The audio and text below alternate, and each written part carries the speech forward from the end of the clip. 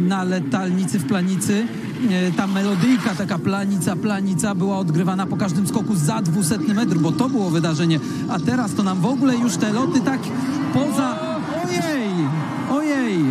Zajc, ależ on lata tutaj od początku tej rywalizacji. I po raz kolejny w przypadku Zajca mamy identyczną sytuację. No nie wiemy, czy on nie jest wystarczająco przygotowany siłowo do sezonu, że w dolnej fazie już, gdy mija wysoko w powietrzu punkt K, rozjeżdżają się narty, zaczyna mieć problem z równowagą w locie i to jest bardzo niebezpieczna sytuacja, ale, Ale Michale, to jest 245 metrów. Nikt tutaj przez cały ten weekend od czwartku, od skoków próbnych nie poleciał dalej. Niewiarygodny jest ten Zajca. Proszę zwrócić uwagę, ten moment, on ostatnie kilkanaście metrów przeleciał właściwie ratując e, się przed upadkiem. Gdyby utrzymał tę pozycję, tę sztywność w powietrzu, no to mogło być tutaj nawet e, 250 metrów. Ale ja pozwolę sobie wrócić jeszcze